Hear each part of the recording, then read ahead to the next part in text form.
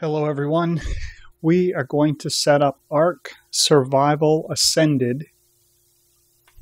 It's really easy. The first thing you're going to do is you're going to install Windows GSM. If you don't have Windows GSM, there'll be a link in the description to my webpage where you can download it. Now I've installed this and tested it so we won't have to sit through any of the downloads. When you pull up Windows GSM, it'll be like this. You won't have Ark in your list. What you'll have to do then is you'll have to add a plugin. Now, the plugin is very easy to get. Also, in that same page, there's going to be a link to the plugin. So you'll go to the plugin, you'll download a zip file. The um, link goes to GitHub, and it shows you pictures of how to get the file. Very easy.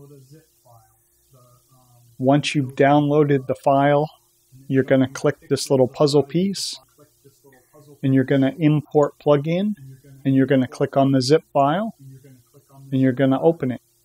And when you do that, it's going to be listed right here. Then you just click on plugins to close it.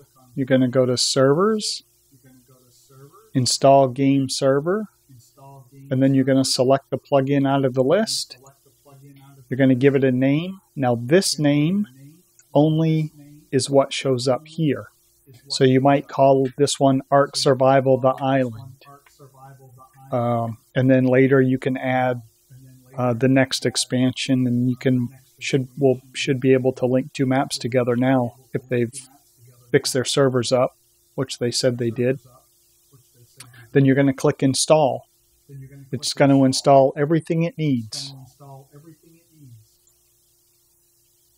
After it installs, it's going to be the latest one on the list. Of course, if you've done this before, you won't have any trouble. Uh, in this case here, it's my newest server, number 11. I'm going to edit the config. Now, I like to turn off BattlEye. I don't need it because I this is my private server.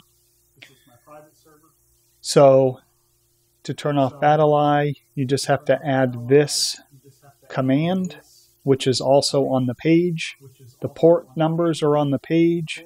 Set your um, server max and here is the name that will show up in the Ark server list. And then you're going to click save. And that's it. When you run your server, you'll start. The server will come on. It'll do its checks.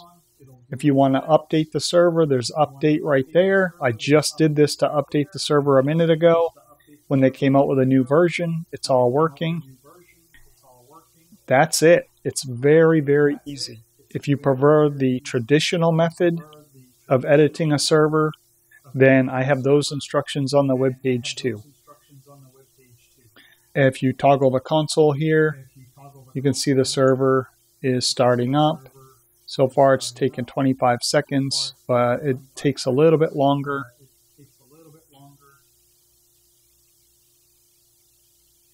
shouldn't be well it just it's a new download. Okay so now the server name is there. So it's it's running. Spawner failure. Yep that's pretty normal. that's it. Super simple. Depending on your download speed that's going to be your biggest um, your slowest thing to do. I'm going to also have a video on the configuration files that's it, people. Go download you, set you up a server like you used to have with Ark Survival Evolved, and tweak those settings.